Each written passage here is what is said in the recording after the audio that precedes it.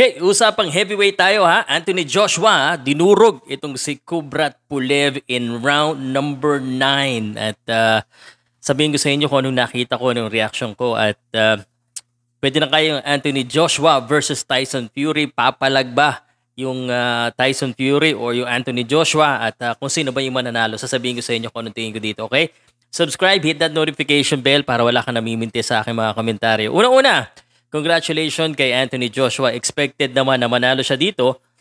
Um, there are good things, there are bad things. Uh, overall, it was uh, para sa akin okay naman yung performance. Good performance.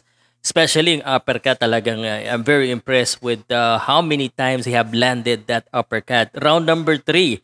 Um, dito sumugod talaga itong si Anthony Joshua at talagang hindi niya pinahinga itong si Kubrat Pulev na nakita ko dito nako siguro tapos na itong laro na ito, tapos na itong laban na ito, uh, round number 3 or round number 4.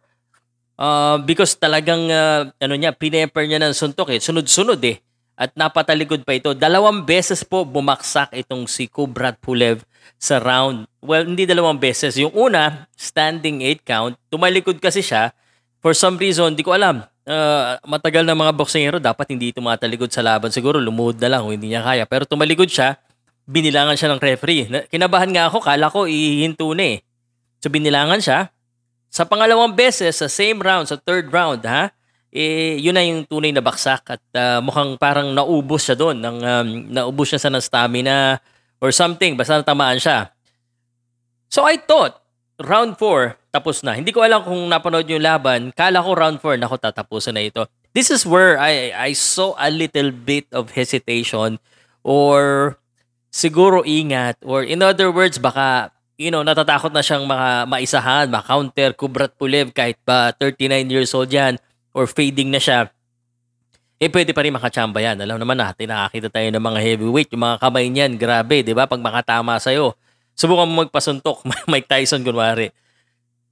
So siguro, merong, merong may mali sa utak ng Anthony Joshua hindi mali ah. Siguro may may worry sa uh, sa sa mind niya that uh, he might get countered so it has to be systematic. If you want to look at it positively he he, he has learned a lot. He has uh, you know he's he's careful and he systematically and patiently beat down Kubrat Pulev but the killer instinct um like it's going up and down eh. So we, we don't know exactly what's going through the mind of Anthony Joshua eh there are opportunities na he could have finished uh, itong si Pule pero hindi niya ginawa. Tapos meron din siya mga instances yung uh, natatamaan siya, eh, no? Yun yung uh, afraid ako eh. Sabi ko, nako, eh, pag natatamaan siya ng ganon, siguro hindi, na hindi kasing lakas yung suntok na tumama sa kanya pero alam naman natin na pwede siyang ma-knockdown kasi nagawa na sa kanya na knockout siya eh. So, that is kind of the things that he need to work out if uh, he's gonna be fighting uh, Tyson Fury uh, 2021. Um, anyway, the fight ended uh, on in, in round number nine. It was really the uppercut that set it up. I really love the uppercut. Uh, uppercut. Uh, masterful talaga. Ilang beses tumatama yung uppercut na yon kahit anong salag nitong ni Pulev eh talagang sapul eh. Kasi eh, ganyan yung kamay niya eh. Hindi naman hindi hinaharangan sa baba. So galing sa baba yung suntok at saka hukay talaga eh. Talagang dinudukot niya ng malalim yung uppercut niya. So, talagang pag tumama, yun. So, yun yung nagsimula ng lahat. But uh, he finished it off after that first knockdown, round number 9, um, with the straight punch. Straight na simula. Right straight po yan na simula na tumama dito sa panga niya which is talagang hindi na siya nakabangon. At uh, binilangan na siya. Bulagta po talaga itong si uh, Kubrat Pulev at uh, you know nagugustuhan ko na talaga ulit manood ng heavyweight. Now, personally in the Philippines, we don't have heavyweights. We have middleweights now, but uh, hopefully we get some heavyweights in the future. But uh, tapos noon, knockdown, uh, sabi ni uh, Anthony Joshua, he was impressed. Uh, I think he nagustuhan niya yung performance niya. Uh, there's again, there's good and bad things. So after that, ito na, usapang uh, undisputed. Undisputed. Kasi po ano, uh, nasa kanya yung apat na belt actually nasa kanya pero yung isa IBO.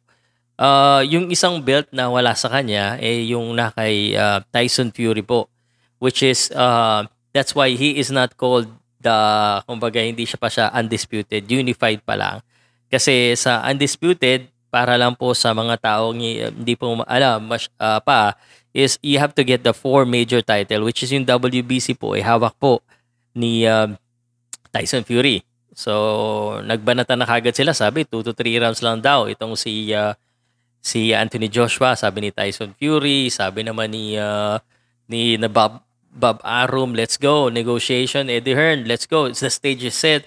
So I'm very excited for this one. Hopefully this happened in the first quarter. In the late first quarter, it's good. What would happen in this fight? this is what I think. Based on what I saw, it's gonna be a good fight, but uh, I think Tyson Fury uh, is still the the favored fighter in this match. Actually, um, I don't know. I, am trying to see uh, how Anthony Joshua would win in this fight. I just could not find, as of right now, any scenario that would uh, favor Anthony Joshua. That really depends on how Anthony Joshua fight. But if he fights the same way as he fight Kubrat Pulev, which is really, from what I see, it's uh, like he was undecided on what he wants to do and he was careful. Um, I think he needs to push it with Anthony Josh with uh, Tyson Fury kasi Tyson Fury for me again and pwede kayong uh, sumalungat is a far more better uh, boxer than Anthony Joshua Although, we can all argue in that. And uh, again, itong uh, Tyson Fury is 6'9". And I think uh, Joshua is 6'6". Let me let me just check this one real quick kung uh, kung ano ba ang uh, height nito ni Anthony uh, Joshua. 6'6 yata eh. Yeah, 6'6 nga. 6'6. So, lahat favored kay ano eh, kay uh, Tyson Fury. Tyson Fury can just go forward and use his weight and he can box. And if he box, we know that I think uh, para sa akin po, uh, Tyson Fury is the uh, the most skilled heavyweight boxer right now. Sabi ko nga kung nagkatapat uh, katapat sila ni ni Muhammad Ali or ni Tyson, uh, Mike Tyson eh uh, I think baka manalo itong uh, Tyson Fury. Sa akin pong palagay ah, sa inyo ano sa tingin niyo. Anyway, um hopefully this happen itong Anthony Joshua versus Tyson Fury. Ang uh, gusto ko lang malaman po sa inyo eh ano sa tingin niyo yung mangyayari and uh, how impressed are you with the performance of uh, Anthony Joshua against Kubrat Pulev? Uh, again, we know na pababa na itong Kubrat Pulev so everyone is expecting a win. Uh, were, were you disappointed ba with uh, with the performance? And uh, oh yeah before that um sab ano ko lang curious lang ako ah. Should uh, Anthony jo- Joshua kasi ito na nga they wanna go straight. Itong si Tyson Fury sino kaya yung A side dito sa dalawang ito para sa inyo sino yung A side I'm just curious to find out para sa mga fans po dito sa Pilipinas kasi at tatlo o apat na belt ang hawak nito ni Anthony Joshua. But I think Tyson Fury is uh, more popular nation or not nationwide, uh, internationally. I just felt like uh, so pero nasa kanya yung belt eh. So sino yung A side? There has to be an A side or 50-50 talaga. Ano sa tingin nyo? Again, ang hawak po ni Anthony Joshua is um, WBA, IBF, WBO at saka yung IBO tapos WBC itong uh, kay uh, Tyson Fury.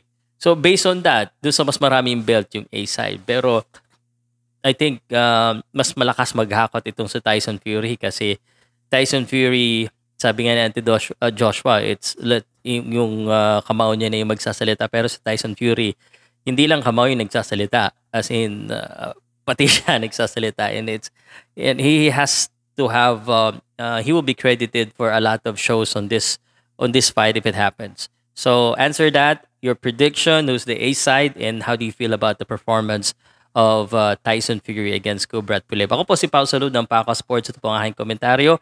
Kung nagustuhan mo at gusto mo akong kausap lagi, please subscribe, hit that notification bell. You can also join and uh, if you're wondering where I'm watching, I'm watching on The Zone and uh, Fight TV. I'm subscribed there. Salamat po. Powcast Sports. If you're new here, don't forget to subscribe and hit the notification bell.